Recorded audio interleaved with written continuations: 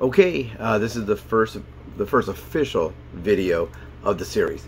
Um, so back to what I was saying earlier. I'm not sure. I'm having some technical issues, so hopefully this will work. But this is the first actual video, and I'll put that in the comments so people will know. Uh, if you'd like to subscribe, please do so down below.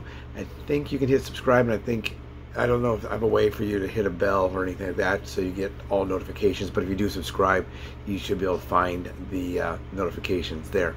Uh, so basically what happened was I got uh, out of the military, put on a lot of weight. I still have a turkey neck. I got to work on that. I don't know. There's exercises for that, I guess. But I still have this gobbly turkey neck. Um, and when I got out, I was in my 30s, and I put on a lot of weight. Um, and I got sick because of that. I got the different things that we get with uh, putting on a lot of weight, diabetes. Uh, at, at, first, they treated it just diet and exercise. Then it got a little worse, worse, worse, and worse. So uh, I had two health scares. Uh, well, more than two health scares. I had two hospitalizations. The first one was prior to my 50th birthday. I think I was uh, mm, maybe I was like 49, right at 49. So this is now I can this is bugging me because I can see it. I gotta hide it. But anyway, um, I got uh, a, a, a, bruise on my on my on my leg, and I went to take a shower uh, later in the day, and I saw that I had redness on my leg, and I thought maybe the shower had done it. Turned out it was cellulitis. Uh, I ignored it, uh, like we always do. We always think, oh, it's nothing. Uh, went to the hospital on a Friday, and they were going to uh, do. Some, they first they thought maybe it was some kind of like a uh, one of those you know fleshing bacteria things because I had a big like a hole in my leg, but it turned out it was cellulitis and I said, well, I was going to go to the doctor on Monday. They said, well, you would have probably been in the morgue on Monday. That's how bad it was. And I had to stay there until my numbers, uh, my heart rate would get to a number that would be acceptable to leave the hospital. And that took uh, an overnight in the hospital.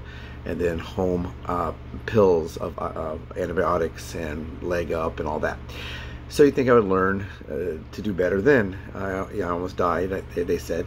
Um, and I did. I did better for a very short period of time. Then a number of years later, um, when I it was 2018, so I was about 57. Uh, I had a little teeny bump on the bottom of my toe. I thought it was nothing. It was a blister. We always get blisters. We're kids. When we're kids, we get blisters. We get scrapes. We get bruises. Whatever. No big deal. But as a diabetic, it's a big deal. So on my big toe, they call it the grand toe, on my right foot, I had a little teeny hole and I didn't realize the bone is so close to the it makes sense. The bone is very close to the outside skin. And I developed a bone infection. I'll look it up and I'll put in the comments below what it was what it's called. But it started spreading and I let it go let it go let it go. Went to the hospital um, I think it was December 17th or something like that. I can look it up. And I was in the hospital for nine days. They want to cut my leg off. And it makes sense. What they do is they find a place where there is no there was no infection and they cut onto the good part of the skin or the foot, the foot, the leg, whatever they're going to amputate, and they cut it off. They want to take off my first. They said part of my foot, then my then maybe we could just do just the toe. Then at first, at first they're saying I might lose my whole leg. And they kept explaining to me, this is not life threatening, this is leg threatening. this is loss of leg, not loss of life.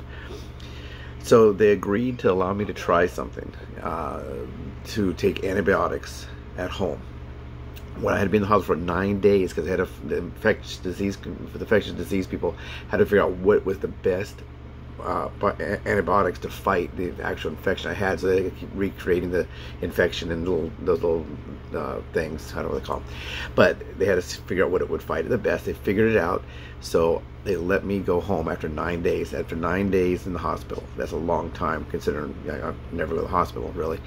Um, got home and for, for, for, for six weeks, six weeks, I had to take four IVs a day, yeah, every uh, like every six hours or something like that. Uh, maybe I don't remember. I took two at once, and then I take two others. I take one. It was a big. They, they call them cassettes, but they look like, kind of like balls, and they put the the IVs into your arm. I'd have a PICC line which takes the IVs from my arm down into next to my heart, so it pumps down they're worried that my vascular system wasn't strong enough to bring the, the, the, stuff down there, so they would take needles and shoot directly into my toe. Ow, it hurt, but it, it, it, worked. So I was able to save my toe. Six weeks. They didn't think it would ever work. They thought for sure I'd be back in a couple weeks. Look, this is too much. Take off my toe. How you know? How does a person work when they're taking IVs? Uh, you know, every every six hours is tough. I'd work a couple hours and then then back to the thing and then try not to fall asleep uh, and and do that. So anyway, did that for six weeks. I was able to save my toe. And that's when I kind of got the motivation. Hey, this is not going to be good. Diabetes, for example, it doesn't hurt until it's too late. It doesn't hurt.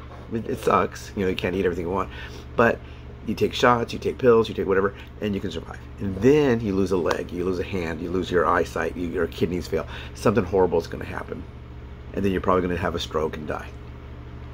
Up from that, and we're all going to die someday.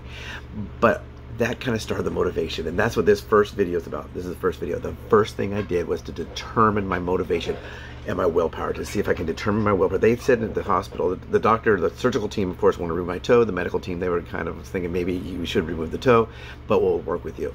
But the surgical team, the doctor said, well, you're going to leave here and you're going to go straight to the first drive-through and get two or three uh, half-pound hamburgers, whatever. No, I didn't do that. I didn't do that at all. So I had to go and do the uh, figure out my motivation. What I want to do. Do I want to die younger than I would be dying regularly? Do I want to have a horrible life? Do I want to miss, be missing a leg? You miss on a lot. You know, I'm not saying anything's wrong with someone that has to miss a leg, have to have a leg removed or whatever. But if you don't have to have it, why do it? So that was the first thing, determining my motivation. Why, why am I motivated to do this? I know what to do. I know what to do the doctor's been telling me for years what to do. The, the nutritionist, the pharmacist, they all have told me for years what to do. Years and years and years and years. I just didn't do it. So this is the time I had to sit back and say, okay, here it is. I'm, I'm sitting in a, in a recliner at my house with an IV stuck in my arm, bringing it down into my, hopefully